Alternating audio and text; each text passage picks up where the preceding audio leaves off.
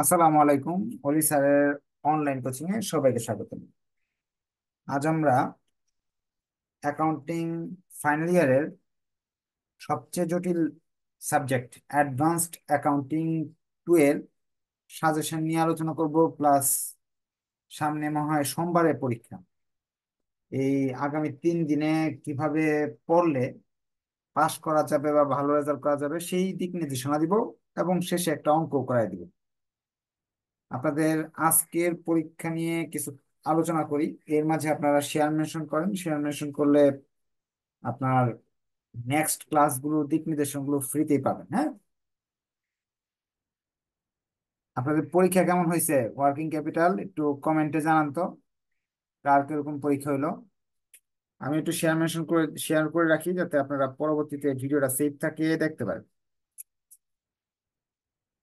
পরীক্ষা কার কেমন হয়েছে ভালো না খারাপ? কমেন্টে জানান।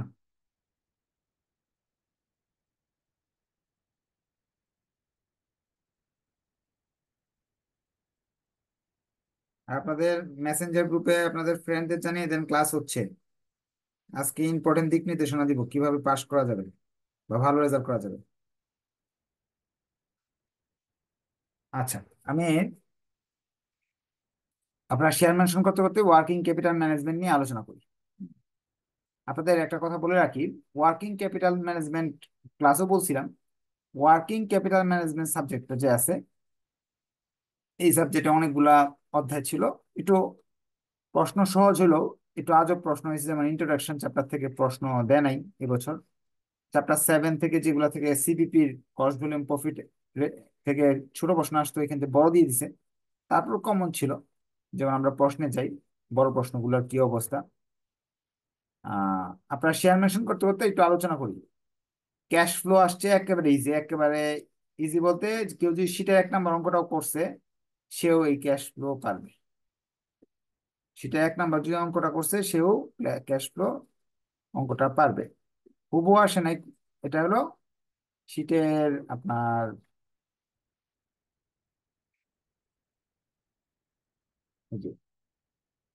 শীটের এক নং এর উপরের অংশটার মতো আসছে। আর আপনার সমন্বয়গুলো এরকম আসছে ডিপ্রিসিয়েশন দেওয়া নাই মনে হয় এরকম হ্যাঁ? একেবারে ইজি ছিল এটা। এটা সবাই পারার কথা। আর ক্যাশ ফ্লোতে টেকনিক তো শিখিয়ে দিছিলাম কীভাবে মিলাতে হবে। চোদ্দ নাম্বারটা গতকালকে রাতে শর্ট সাজেশনে ছিল, চোদ্দ নাম্বারটা তো হুবু আসে নাই। চোদ্দ নাম্বারটা এই অঙ্কটার মতো আসছে, এটা তো শিখিয়ে দিছিলাম। এবং ইম্পর্টেন্ট চ্যাপ্টার বলাও ছিল chapter four chapter wise suggestion দেওয়া হয়েছিল চ্যাপ্টার থ্রি থেকে প্রশ্ন আসবে না, আসে নাই। চ্যাপ্টার ফোর থেকে আসবে বলছিলাম। আসছে। এই যে ইউনিটগুলো দেওয়া আছে পার্সেন্টেজ দেওয়া আছে, উপরে বিভিন্ন ধরনের খরচগুলো দেওয়া আছে। কীভাবে নির্ণয় করতে হবে? প্রবলেম চারের মতো আসছে হুবু আসেনি। এরপরে আপনার এই অঙ্কটা এই চ্যাপ্টারটাও বলে দিয়েছিলাম, এই বছরের জন্য আপনাদের ইম্পর্টেন্ট শর্ট শর্ট টার্ম এই অঙ্কটা আসছে। পার্সেন্টগুলো, এই সংখ্যাগুলো, এই যে টাকাগুলো, এই পার্সেন্টগুলো চেঞ্জ করে দিচ্ছি। এরপর আপনার এই জায়গায় আপনার একটু শেয়ার মেনশন করে দিবেন, তাহলে ক্লাস তাড়াতাড়ি শুরু করে দেবেন এই অঙ্ক শীট থেকে আসছে। শীটের চ্যাপ্টার সেভেন চ্যাপ্টার সেভেনের সিবিপি অংশ থেকে আসছে। কস্ট ভলিউম প্রফিট এই যে এটা। এই অঙ্কের মাঝে একটা বেশি চাইছি নেট ইনকামটা চাইছে। নেট ইনকাম তো আমরা এই তিন নাম্বার অপশন যখন করছি, তখন নেট ইনকাম বের করে নিয়েছিলাম। রেশিও একটা অঙ্ক আসছে। গতকালকে যারা শর্ট ইয়ে শর্ট সাজেশন দিছিলাম, তখন বলে দিছিলাম, এই বছর ব্যালেন্স শিট বানানোটা আসবে না। এই বছর এই প্রশ্নগুলো আসবে। হ্যাঁ এটা একেবারে হুবু আসে নাই। এটা মিক্সড লেকচার শিটের প্রবলেম দুই যে আছে, যদি আপনি প্রবলেম দুইটা করেন লেকচার শিটের তাহলে এই টাইপের অঙ্ক আপনার পারবেন। যে প্রবলেম দুই এর উপরের অংশগুলো দেখেন, এই আইটেমগুলো এখানে আছে। সেলস গুডস কষ্ট গুডস এগুলা দেওয়া থাকে। পরবর্তীতে এইগুলা করতে বলে হুবু আসেনি কিন্তু নিয়মগুলো কমন করছে। এটা বলেই দিছিলাম যে, এখন তো আর অঙ্ক হুবহু দিবে না, স্যাররা বানিয়ে দিবে। এখন মূল কথা যেটা ওয়ার্কিং ক্যাপিটাল প্রশ্নটা স্যাররা চেষ্টা করছে যথেষ্ট কঠিন করার। কিন্তু ওই সাবজেক্টের অঙ্কগুলো বেশি একটা কঠিন করার সুযোগ থাকে না। হ্যাঁ? কিন্তু অ্যাডভান্সড অ্যাকাউন্টিং টু যে বইটা আছে, এখানে অঙ্কগুলো বানানোর প্রচুর সুযোগ আছে সাবজেক্ট আর প্রতি বছর এই সাবজেক্টের প্রশ্ন বেশ কঠিন হয়। প্রতি বছর এই সাবজেক্টে সবাই বেশি, অনেক ছাত্র ফেল করে। আর ফাইনাল ইয়ারে ফেল করলে ইয়ার লস এখন পাস কীভাবে করবেন? যারা ভর্তিকৃত স্টুডেন্ট তাদের জন্য ইনস্ট্রাকশন দিচ্ছি। যারা ভর্তি হন নাই তারা ওই ইনস্ট্রাকশন ফলো করতে পারেন, যদি পড়া থাকে। যেই অধ্যায়গুলো থেকে বেশি একটা বানানোর অপশন নাই, এই অধ্যায়গুলোর নাম বলে দিচ্ছি। এই যে রয়্যালিটি এখানে বেশি একটা বানানোর অপশন নাই। নিয়ম কম। পারবেন। ভুল হইলেও নাম্বার পাবেন। ছক আছে, খতিয়ান আছে। রয়্যালিটি চ্যাপ্টারটা আপনি একেবারে মুখস্থ টুটস্থ করে ফেলবেন কালকে সারাদিনে। এরপর ডাবল অ্যাকাউন্ট সিস্টেম এখানেও পুরানো পেঁচানোর অপশন কম, অঙ্কই কম। চ্যাপ্টার চার। চ্যাপ্টার এগারো নন প্রফিট এটা একটা ব্যালেন্স শিটের মতো একটা অঙ্ক আসে।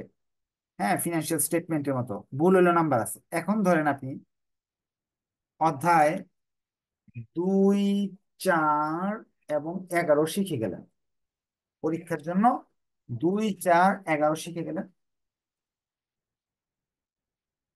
ধরে নেন তিনটার মাঝে এই তিনটা যে অঙ্ক, তিনটার মাঝে ভুল হয়েছে অনেক। ভুল হয়ে তিরিশের মাঝে গড়ে, তিনটা অঙ্ক ভুল গড়ে তো কিছু না কিছু সাড়ে নাম্বার দিয়ে, বিশ নাম্বার দিয়ে দিছে। বড় প্রশ্নে একটা থিওরি আসে, ছোট প্রশ্ন থিওরি আসে। এ পার্টে আপনি সাতটা পাবেন, পাঁচ ছয়টা, সাতটা পাবেন। বি এবং সি বি এবং সি পার্টে যদি আনসার করে আরও দশটা নাম্বার পান। তাও আপনার হইতেছে সাঁত্রিশ তিনটা অঙ্ক ভুল করে যদি পনেরো পনেরো করে দেয়, তাও আসবে বত্রিশ নাম্বার পাস অর্থাৎ অঙ্কগুলো ভুল করে আসলেও কিছু না কিছু নাম্বার আপনি পাবেন। যদি আপনি তিন দিনে এই তিনটা chapter royalty, double account non profit তিনটা অধ্যায় ভালো করে করে যেতে পারেন একটা অঙ্ক মিলাতে পারেন আর দুইটা ভুলও করেন তাও পাস। তাহলে আপনাদের জন্য ইনস্ট্রাকশন হলো, দুই, চার, এগারো হলো বাধ্যতামূলক। সবার তো চ্যাপ্টার ওয়ান করা আছে গুডউইল করা আছে না? গুডউইল তো অ্যাকাউন্টিং থিওরিতে করছেন, করা নাই? করা আছে? থাকলে বলেন। গুডউইল করা থাকলে গুডউইল এভালুয়েশন দিবেন। তো চারটা অধ্যায় হয়ে গেল। চ্যাপ্টার তিন চ্যাপ্টার তিন থেকে একটা অঙ্ক আসবে। চ্যাপ্টার পাঁচ থেকে একটা অঙ্ক আসবে। চ্যাপ্টার তিনের তিন করবেন। কনসোলেটেড ব্যালেন্স শিট চ্যাপ্টার পাঁচের এক ব্রাঞ্চ অ্যাকাউন্ট ব্রাঞ্চ এবার ব্রাঞ্চ আসার সম্ভাবনা আছে। গত বছর ডিপার্টমেন্ট আসছে। আর combination chapter three point three আপনাদের চ্যাপ্টারগুলো ইম্পর্টেন্ট বলে দিলাম, এই ছয় চ্যাপ্টার থেকে বিগত দশ বছরে ছয়টা অঙ্ক আসছে, ছয়টা কম পক্ষে সর্বনিম্ন ছয়টা আসছে। এই বছর যদি ছয়টা না এসা এই চ্যাপ্টার থেকে অঙ্ক না দিয়ে অন্য কিছু করে, তাহলে আপনাদের ভাগ্য খারাপ বলা ছাড়া আর কিছু করার নাই। আর এছাড়া আর চ্যাপ্টারও নাই দিক চ্যাপ্টার ওয়াইজ ইনস্ট্রাকশন দেওয়া হলো, কীভাবে বানায় অঙ্ক দিবেন, এটার ইনস্ট্রাকশন দেওয়া হলো। আর আপনাদের তো ষষ্ঠ সাজেশন পরীক্ষা আগে দিবই। এখন না, ষষ্ঠ সাজেশন রবিবারে পাবেন আর যে পরীক্ষা আগের দিন রাতে পাবেন।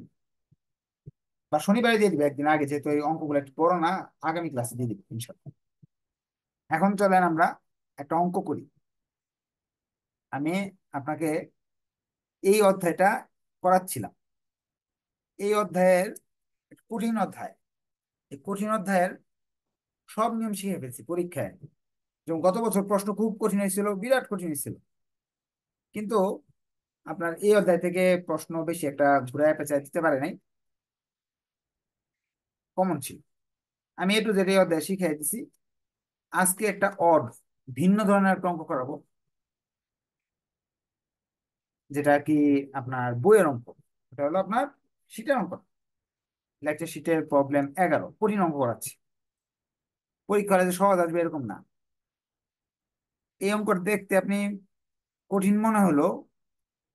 নতুন একটা জিনিস পাবেন এখানে। যদি কোম্পানির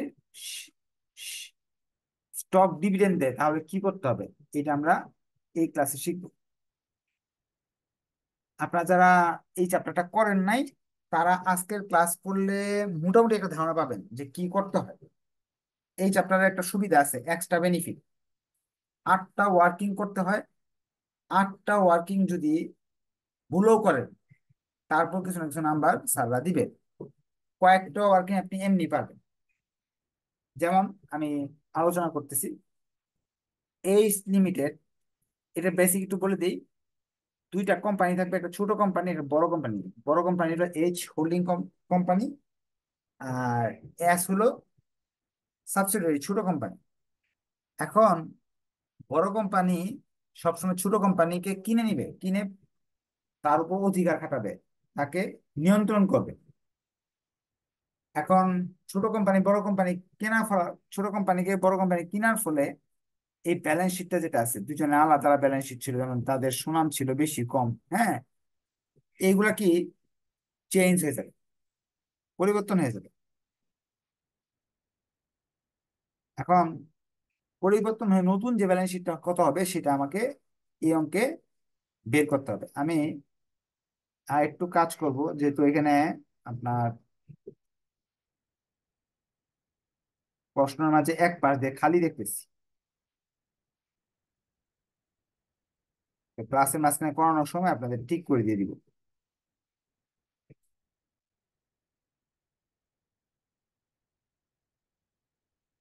আপনাদের যদি যে কোনো প্রশ্ন নিয়ে এই ওই এই অ্যাডভান্স অ্যাকাউন্টিং টু নিয়ে যে কোনো কোয়েশ্চেন থাকলে কমেন্ট করতে পারেন, যে কি করবেন, না করবেন।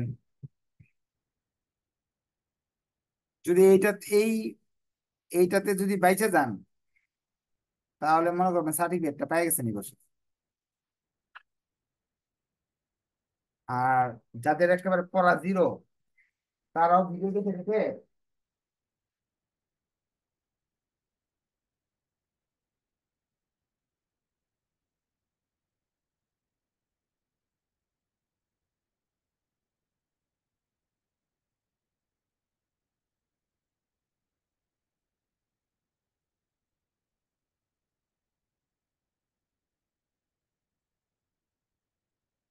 যাদের পড়া নাই, তারা যদি কালকে থেকে ভিডিও দেখা শুরু করেন, তিন চারটা চ্যাপ্টার শেষ করে ফেলতে পারবেন পাস করে ফেলতে পারবেন ইনশাল্লাহ। কিন্তু এ প্লাস পাবেন এরকম সম্ভাবনা নাই। আমরা এটা করাচ্ছি। H limited acquire twelve thousand share of S limited টাকা এক লক্ষ সত্তর হাজার first April two thousand seventeen এই কথাটা খুবই ইম্পর্টেন্ট একটা কথা, আপনি মনে রাখবেন। বড় কোম্পানি ছোট কোম্পানির বারো হাজার শেয়ার কিনছে এক লাখ সত্তর হাজার টাকা দিয়ে। এপ্রিলের এক তারিখ দুই হাজার সতেরো সালে। Balance sheet of two companies as thirty five December two thousand seventeen এক বছর শেষে, মোটামুটি নয় মাস শেষ হওয়ার পর দুই হাজার সতেরো সালে তাদের এই অবস্থায় ছিল। তাদের ব্যালেন্স ইয়েটা তাদের হিসাব নিকাশগুলো এরকম ছিল। এদিক দিয়ে কতগুলো টাকা দেওয়া আছে? এই পাশ দিয়ে অনেকগুলো টাকা দেওয়া আছে, এদিকে লাইব্রেরিটি এদিকে অ্যাসেট দেওয়া আছে। ক্লাসটা বেশ বড় হবে, যেহেতু ভেঙে ভেঙে বুঝিয়ে দিব। এখানে কিছু সমন্বয় দেওয়া থাকবে অঙ্কে।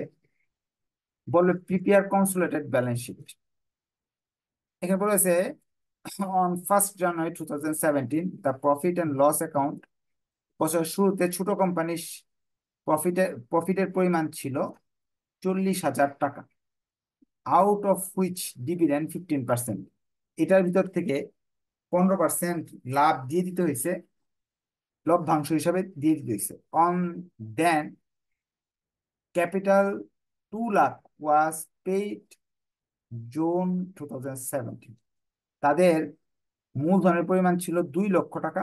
ছোট company at the same that bonus share one fully paid for every two share দুইজন শেয়ার হোল্ডারকে একটা করে বোনাস শেয়ার দেওয়া হয়েছে। এই জিনিসটা নতুন।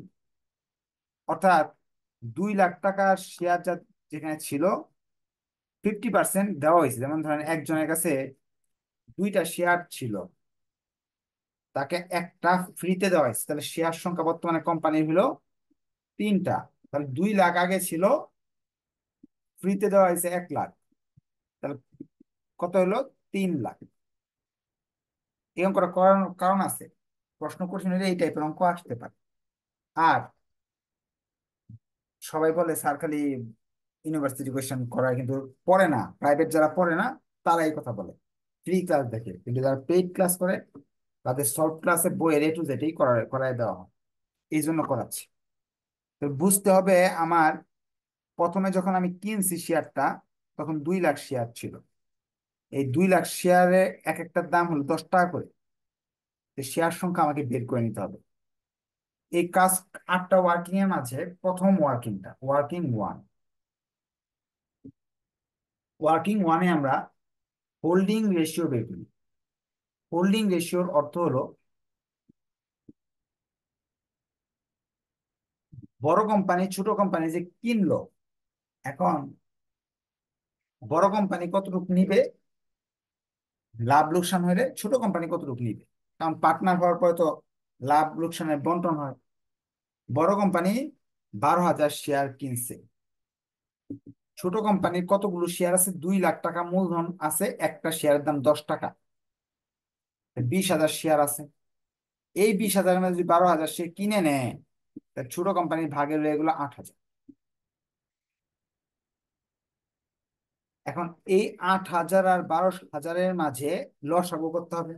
যেমন তিনটা শূন্য মানে এক হাজার দিয়ে আমি ভাগ দিলাম। এখানে থাকে বারো, এখানে থাকে আট। আমি চার দিয়ে ভাগ করলাম। এটা থাকে তিন, এটা থাকে দুই।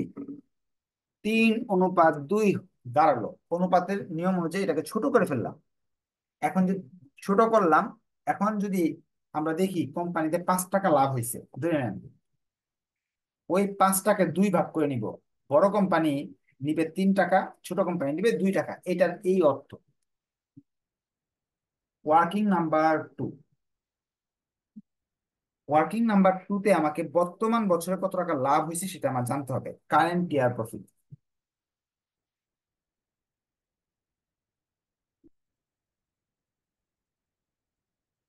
বর্তমান বছরে কত টাকা লাভ হয়েছে এটা আমাকে জানতে হবে। এটা জানার জন্য এই অঙ্ক করার জন্য বেশি কিছু খেয়াল রাখতে হয় না। সমন্বয়গুলো আপনার জানতে হয়, এক নাম্বার কাজ, দুই নাম্বার কাজ হলো এই জায়গায় প্রফিট অ্যান্ড লসের যে টাকাটা, এটা আমাকে দেখতে হয়। জেনারেল রিজার্ভ একটু দেখতে হয়, আর ক্যাপিটালটা দেখতে হয়। তিনটা জিনিস দেখতে হয়, আর কিছু দেখতে হয় না। প্রফিট অ্যান্ড লস ছোট কোম্পানির পঁচাশি হাজার টাকা, এটা মনে রাখবেন। তারা বলছে বছরের শুরুতে চল্লিশ হাজার ছিল। তাহলে পঁচাশি হাজার টাকা বছর শেষে আছে। Profit and loss thirty first December two thousand two thousand seven পঁচাশি হাজার টাকা। বছরের শুরুতে প্রফিট অ্যান্ড লস বছরের শুরুতে চল্লিশ হাজার, এটা প্রশ্নে বলে দিচ্ছি। শুরুতে এটা ছিল, শেষে এটা আছে। এই বছরে কত হয়েছে এটা থেকে বাদ দিলে তো বেরিয়ে আসতো। কিন্তু এখানে একটা ভেজাল বলতেছে ডিভিডেন্টের কথা বলতেছে। ডিভিডেন্ড টাকা এখান থেকে দেওয়া হয়েছে তাহলে এখান থেকে আমি বাদ দিয়ে দিব ডিভিডেন্ড টাকাটা। ডিভিডেন্ড পেড ডিভিডেন্ড কয় টাকা দেওয়া হয়েছে প্রশ্ন বলছে, পনেরো পার্সেন্ট আবার দেখাই নিয়ে আসি।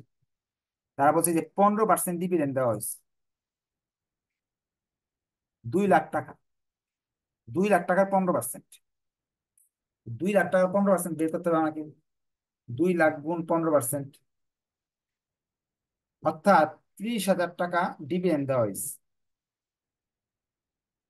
তাহলে গত বছরের লাভ ছিল দশ হাজার।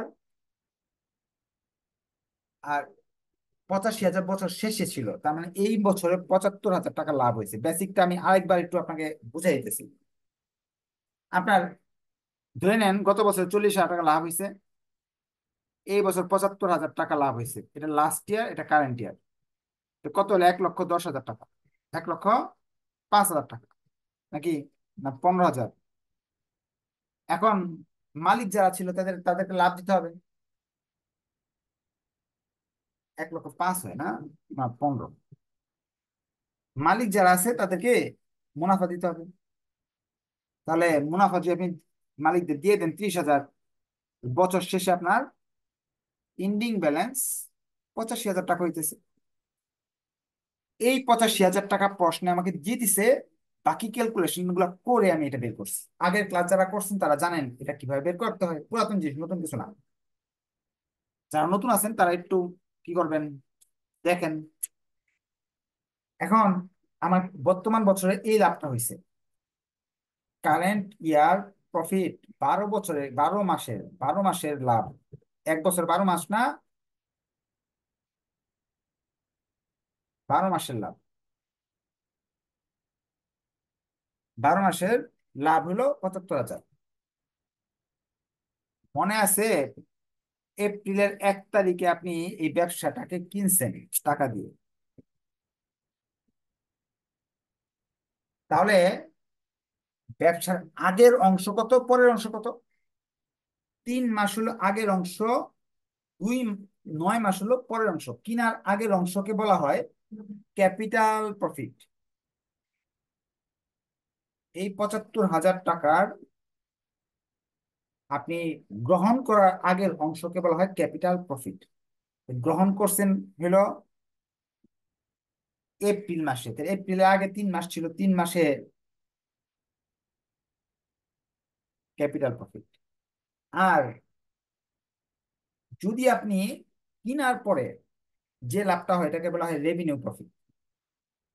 কিনছেন আপনি নয় মাস যাবত এটা বলা হবে রেভিনিউ প্রফিট এটা তো আগে মোটামুটি আটটা ক্লাস হয়েছে আটটা ক্লাস যারা করছেন, তাদের জন্য একটা ইজি এই পঁচাত্তর হাজারকে দুই ভাগ করতে হলো কেন ভাগ করতে হলো এই যে কেনার ডেট দেওয়া ছিল বছরের মাঝখানে। বছরের মাঝখানে দেওয়া না থাকলে এই ঝামেলাটা করতে হয় না। দুই নাম্বার ওয়ার্কিং শেষ। কেউ যদি দুই নাম্বার ওয়ার্কিং করতে পারে, সে দশ নাম্বার কনফার্ম পেয়ে যাবে। কারণ এরপরের ওয়ার্কিংগুলো আর কঠিন কিছু না। একেবারে পানি ভাত ওয়ার্কিং শেষ। তিন নাম্বার ওয়ার্কিং একেবারে ইজি ক্যাপিটাল প্রফিট করতে হবে আমাকে।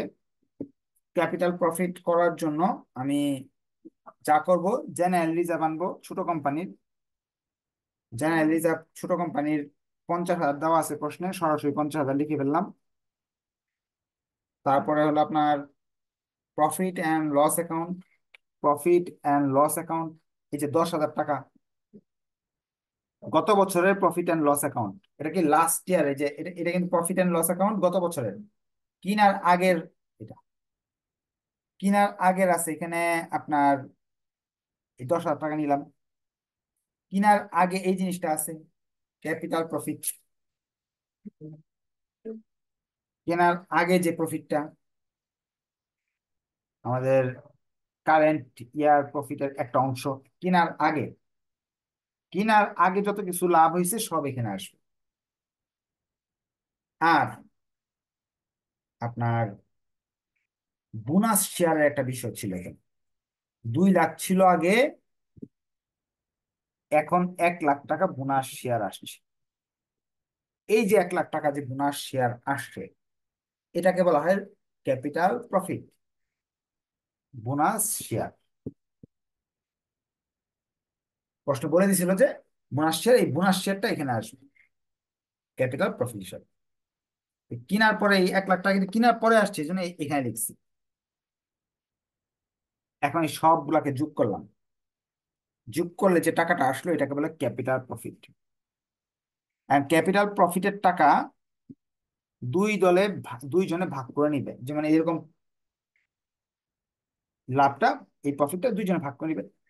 ছোট কোম্পানি নিবে কিছু, বড় কোম্পানি নিবে কিছু। ছোট কোম্পানি নিবে, বড় কোম্পানি নিবে তিন অংশ। তিন আর দুই যোগ করলে পাঁচ, পাঁচের তিন অংশ। অর্থাৎ এক লক্ষ সত্তর হাজার দুইশো পঞ্চাশ।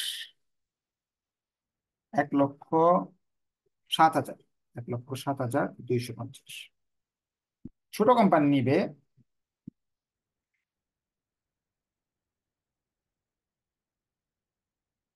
একাত্তর হাজার পাঁচশো।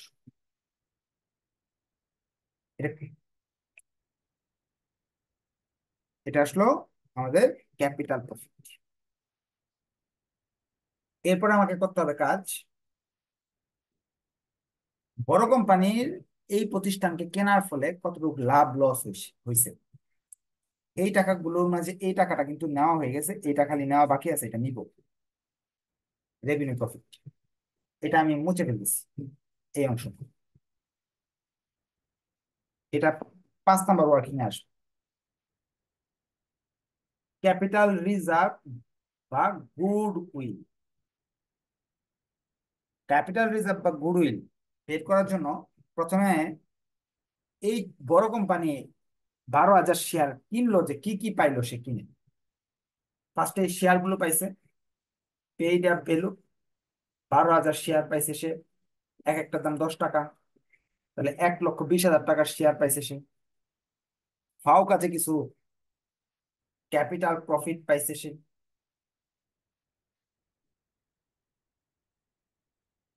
আর ডিভিডেন্ড যে ছিল, একটা মুনাফা পাইছে, তিরিশ হাজার টাকা ডিভিডেন্ড বের করছিলাম, এটার পাঁচের তিন অংশ সে পাইছে। কিনার ফলে সে এই লাভ, লাভগুলো পাইলো টোটাল দুই লাখ পঁয়তাল্লিশ হাজার টাকার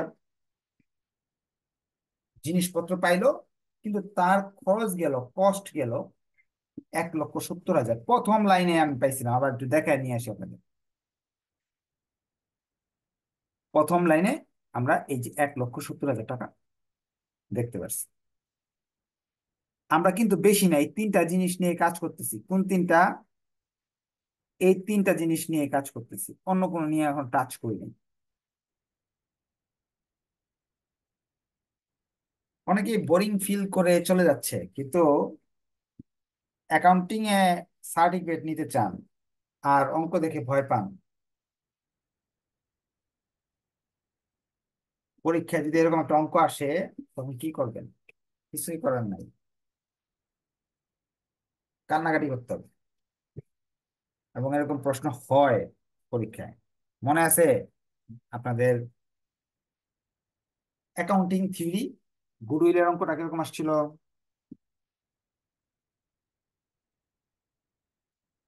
টাকাটা আমি ওইখানে লিখে রাখলাম। পাঁচ নাম্বার স্টেপ রেভিনিউ প্রফিট এইটা হলো রেভিনিউ প্রফিট ছাপ্পান্ন হাজার দুইশো পঞ্চাশ।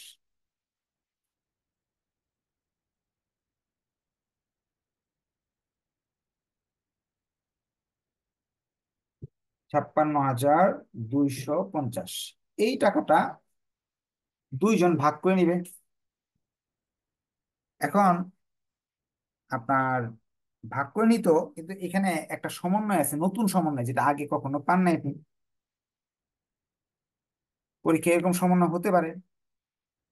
এইখানে বলতেছি সমন্বয় H limited and S limited agree that for service render H limited should charge 500 per month from S limited বলতেছে এইচ লিমিটে এস লিমিটেড কাছ থেকে প্রতি মাসে পাঁচশো টাকা সার্ভিস চার্জ নিবে। ব্যবসাতে চালাবে অ্যাকাউন্টগুলো, সেজন্য সে পাঁচশো টাকা সার্ভিস চার্জ নিবে। এই যে এখানে ছাপ্পান্ন হাজার টাকা লাভ হয়েছে এখান থেকে এই লাভটা যে রেভিনিউ প্রফিট এখান থেকে বড় কোম্পানির টাকাটা বলব কি আমাকে আগে লাভের, এই লাভটা থেকে আগে আমার যে সার্ভিস চার্জটা ওটা দেও, পরে আমরা ভাগাভাগি করি।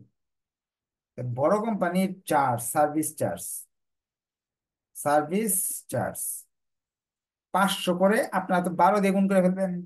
কিন্তু মনে রাখতে হবে এই লোক এপ্রিল মাসে কিনছে, তার মানে নয় মাসের চার্জ সে নিতে পারবে পঁয়তাল্লিশশো টাকা এই টাকাটা তার ইনকাম স্টেটমেন্ট বড় কোম্পানির ইনকাম স্টেটমেন্টে যোগ হবে, মনে রাখবেন। এই টাকাটা এখন দুইজন ভাগ করে নিবে। বড় কোম্পানি নিবে কিছু, ছোট কোম্পানি কিছু নিবে। বড় কোম্পানি নিবে তিন অংশ, ছোট কোম্পানি নিবে দুই অংশ।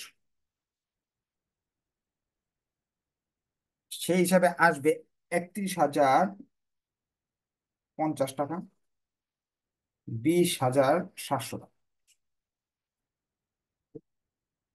পাঁচটা হয়ে গেল। ছয় নাম্বার। ছোট কোম্পানির মাইনরিটি ইন্টারেস্ট, ছোট কোম্পানির দাবি, এটার মতোই হবে। পেইড আপ ভ্যালু তাদের আট হাজার শেয়ার আছে, দশ টাকা করে আশি হাজার টাকা।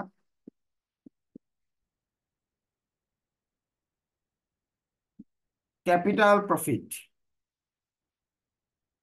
ক্যাপিটাল প্রফিট এই যে এই টাকাটা এখানে একবার আসছিল এই একাত্তর হাজার এখন এইবার এখানে আসবে। ক্যাপিটাল প্রফিটের কাজ শেষ। এই জন্য মুছে ফেললাম। এরপর ডিভিডেন্ড ওই লোক ডিভিডেন্ড পাইছে, সেও তো ডিভিডেন্ড পাবে, একটু কম পাবে আর কি। সে পাবে একটু কম। ডিভিডেন্ড সে পাবে তিরিশ হাজার টাকার পাঁচের দুই। তাহলে আসলো তিরিশ হাজার পাঁচের দুই যদি আসে,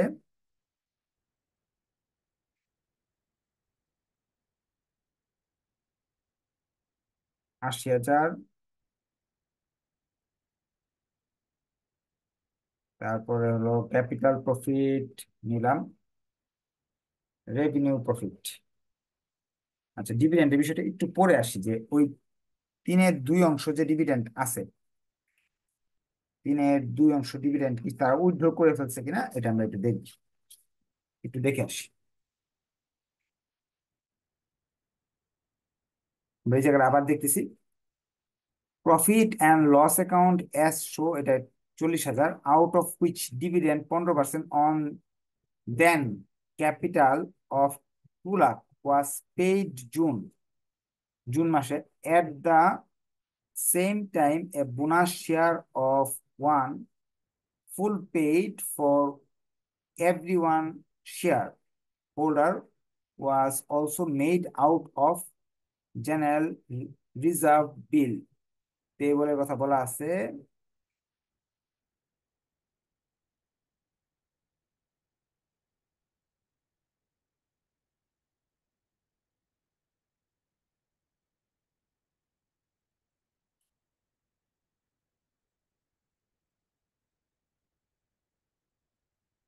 ডিভিডেন্ডের টাকা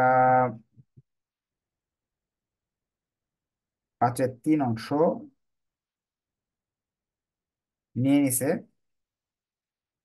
আচ্ছা ডিভিডেন্ডের বিষয়টা আমি বলে দিই।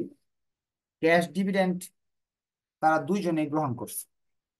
হ্যাঁ ক্যাশ ডিভিডেন্ড দুইজনে নিয়ে নিছে। তারটাও সে নিয়ে নিছে ক্যাশ আর তারটাও নিয়ে নিছে। তারটা এখানে আনার কারণটা হলো এই যে টাকাটা, এটা যে ডিভিডেন্ড পাওয়ার পর প্রতিষ্ঠান লাভ লোকসান হিসাবে যোগ করে ফেলে। কিন্তু যোগ করা দরকার হলো ক্যাপিটাল রিজার্ভের ভিতরে। এই অংশটা আমাদের প্রফিট অ্যান্ড লস অ্যাকাউন্ট থেকে বাদ দিয়ে দেখাবো। এই এই জন্য ডিভিডেন্ডটা এখানে আসবে আবার দেখাচ্ছি। ডিভিডেন্ডের বিষয়টা আরেকবার ক্লিয়ার করছি ডিভিডেন্ডের টাকাগুলো নগদে গ্রহণ করে নেওয়া হয়। যদি বলা হয় নগদ গ্রহণ করা হয় নাই, রয়ে গেছে। যেমন আগের ক্লাসে করছিলাম, বলা থাকলে এই জায়গায় এই জায়গায় দুই জায়গায় আসে। যদি ডিভিডেন্ডটা কিছু বলা না থাকে, তার মানে নগদে তারা নিয়ে নিছে জুন মাসে, এটার ব্যবসা প্রতিষ্ঠানের ভিতরে নাই। এখন আপনি বলতেছেন তবে এখানে আসলো কেন? এখানে আসার কারণটা হলো, ব্যবসা কেনার পরে এই লাভটা আমি পাইছি। এই জন্য দেখাইতেছি যে আমার এই ব্যবসা কেনার ফলে কি কি লাভ হয়েছে এটার আরেকটা কাজ হবে লাভ লোকসান আগে এই প্রফিট অ্যান্ড লস অ্যাকাউন্ট যখন করব, তখন আমি এটা আবার বুঝাই দিই আচ্ছা এখানে রেভিনিউ প্রফিটটা আসবে। এই যে রেভিনিউ প্রফিট বিশ হাজার বিশ হাজার সাতশো টাকা। বিশ হাজার সাতশো। যোগ করলাম এক লক্ষ বাহাত্তর হাজার দুইশো। সাত number unrealise profit unrealise profit যে বের করব, ওটা প্রশ্নে দেওয়া থাকবে। এই যে এখানে দেওয়া যে চল্লিশ হাজার মাল বিক্রি করা হয়েছে একজন আরেকজনের কাছে। ওই যে মালগুলো আছে, এটার মধ্যে টোয়েন্টি পার্সেন্ট প্রফিট আছে। তাহলে এই চল্লিশ হাজার টাকা টোয়েন্টি একশো প্লাস টোয়েন্টি কস্ট দেওয়া থাকলে এই সূত্র ব্যবহার করে বের করতে হবে। এটা আমরা আগে থেকে শেখা আমাদের। আট নাম্বার। প্রফিট অ্যান্ড লস বড় কোম্পানি প্রফিট অ্যান্ড লস বড় কোম্পানিতে আমরা দেখছি দুই লাখ ষাট হাজার টাকা আছে। দেখাইতেছি আপনাদের। যে প্রফিট অ্যান্ড লস বড় কোম্পানিতে দুই লাখ ষাট হাজার টাকা আছে। এই দুই লাখ ষাট হাজার টাকা আমরা লিখব যাবে রেভিনিউ প্রফিটের এই টাকাটা আমি লিখে ফেলব।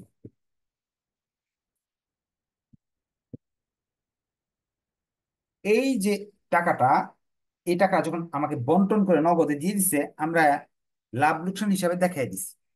লাভ পাওয়ার পরে আমি আমাদের প্রফিট অ্যান্ড লস অ্যাকাউন্টে যোগ করে দিছি। আসলে তো এই টাকাটা আমার লাভ লোকসান হিসাবে আসার কথা না। এই জন্য বাদ দিয়ে দিব এটা। এই টাকাটা আসার কথা, এই এই জায়গায়, এই জন্য এখানে বাদ দিয়ে এখানে যোগ করছি। সার্ভিস চার্জ একটা নিয়েছিলাম আমরা।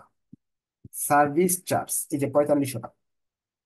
এটা আমাদের এক্সট্রা আয় হিসাবে বাইরের আয়। আনরিয়েলাইজ প্রফিট তো রয়ে গেল এটা এটা দিয়ে নেই। আনরিয়েলাইজ প্রফিট সব যোগ বিয়োগ করলাম দুই লক্ষ সত্তর হাজার আটশো, দুই লক্ষ সত্তর হাজার আটশো তিরাশি।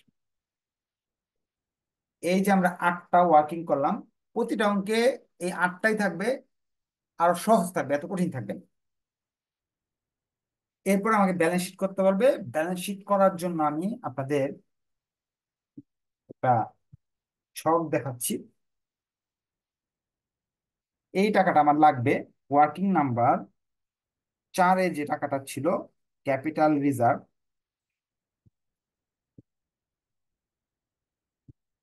ওয়ার্কিং নাম্বার আটে যে ছিল প্রফিট অ্যান্ড লস অ্যাকাউন্ট এটা লাগবে। আর মাইনরিটি ইন্টারেস্ট ওয়ার্কিং নাম্বার পাঁচে ছিল, এই তিনটা ওয়ার্কিং এর টাকা লাগবে, আর কোনো কিছু আমার এখানে লাগবে না, এই জন্য এগুলো মুছে ফেলতেছি।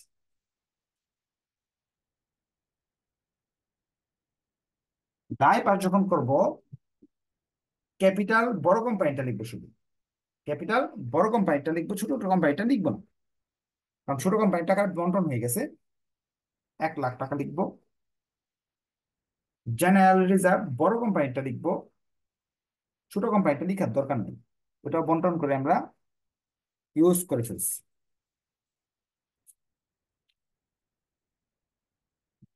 দশ লাখ শূন্য কম দিচ্ছি। আর জেনারেল রিজার্ভ হলো চার লক্ষ বিশ হাজার। আমি দেখাই দিচ্ছি আপনাদের প্রশ্ন থেকে আবার। এই দশ লাখ চার লাখ বিশ হাজার।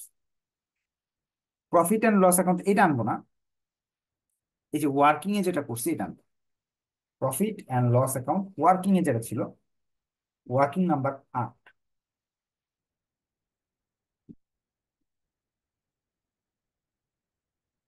তাহলে আমার এই আট নাম্বার এটার কাজ শেষ। ক্যাপিটাল রিজার্ভটাও শেষ করে দিই মাইনরিটি ইন্টারেস্টটাও শেষ করে দিই minority interest. Working number five. এটাও শেষ করে দিই গুডউইল যদি দেওয়া থাকে, অঙ্কে যদি গুডউইল দেওয়া থাকে, বড় এবং ছোট কোম্পানির যোগ করব। বড় কোম্পানির এখানে আছে আপনার তিন লাখ, ছোট কোম্পানিটার প্রিন্টিং মিস্টেক উঠে নেয় সত্তর হাজার।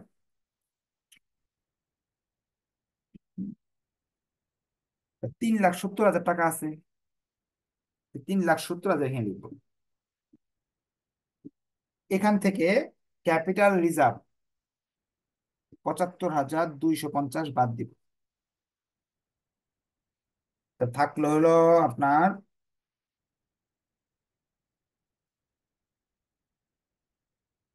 working number capital reserve working number চার, নাকি? থাকল দুই লক্ষ চুরানব্বই হাজার, দুই লক্ষ চুরানব্বই হাজার সাতশো পঞ্চাশ। এখন বাম পাশে আইটেমগুলো কি আছে? এগুলো একটু খুঁজে খুঁজে দেখি আমরা। বাম পাশে আমাদের এখানে আছে ক্রেডিটর্স বিলস পেবল দুইটা জিনিস আছে। ক্রেডিটর্স এবং বিলস পেবল ক্রেডিটর্স নিয়ে কোনো ঝামেলা নাই, দুইটা যোগ করলে হয়ে যাইতেছে দুই লক্ষ বিরাশি হাজার। বিলস পেবল নিয়ে একটু ঝামেলা আছে, বিলস পেবলটা আমি করে দেখাচ্ছি। ক্রেডিটর্স, দুইটা যোগ করলাম, বড়টা ছোটটা যোগ করলাম, দুই লক্ষ বিরাশি হাজার। বিল পেবল, দুটা মিলে আসে এক লক্ষ চল্লিশ হাজার। টাকা প্রশ্নে তারা এই জায়গায় বলে দিছে ছোট কোম্পানি এবং বড় কোম্পানির মাঝখানে কমন বিল আছে, চল্লিশ হাজার টাকা। এই যে, দেখেন। Bills payable of estimated represent bills issue in favour of estimated which the company still had forty thousand of bill accepted by estimated এখন এই কথাটা অর্থ হলো, বড় কোম্পানির এবং ছোট কোম্পানির মাঝে বিলস পেবল এবং বিল রিসিভেবলের মধ্যে চল্লিশ হাজার টাকা কম আছে। বড় কোম্পানির বিলস আপনার আছে হলো বিল রিসিভেবলের বড় কোম্পানিতে আছে পঞ্চাশ, ছোট কোম্পানি আছে তিরিশ। তিরিশ হাজার। তাহলে আশি হাজার টাকা। বিল রিসিভেবল আশি হাজার। উভয় পক্ষ থেকে ইন্টার ট্রানজেকশন লিখে চল্লিশ হাজার বাদ দিয়ে যেহেতু কমন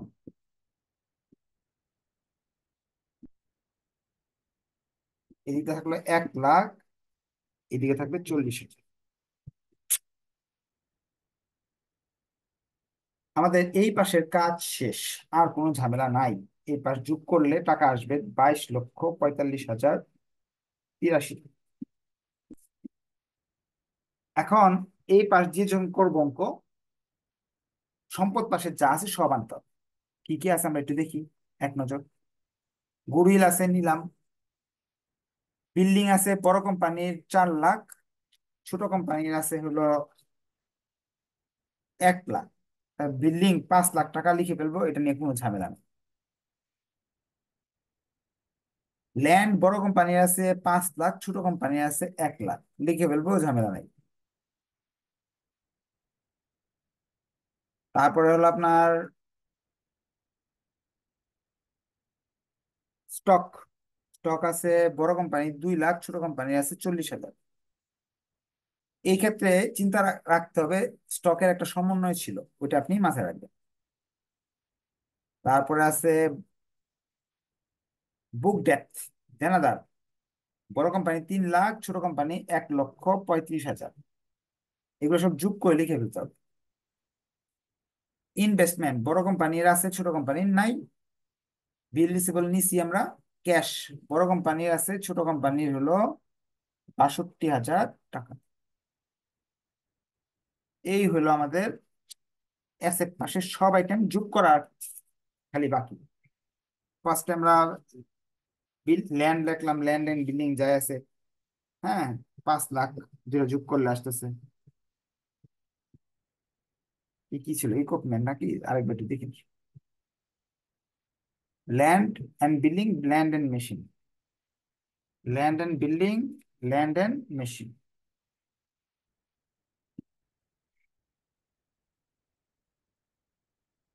land and machine ছয় এরপর স্টক বড়, ছোট মিলিয়ে দুই লাখ চল্লিশ হাজার। এর মাঝে আনরিয়ালাইজ প্রফিট ওয়ার্কিং নাম্বার সেভেনে ছিল।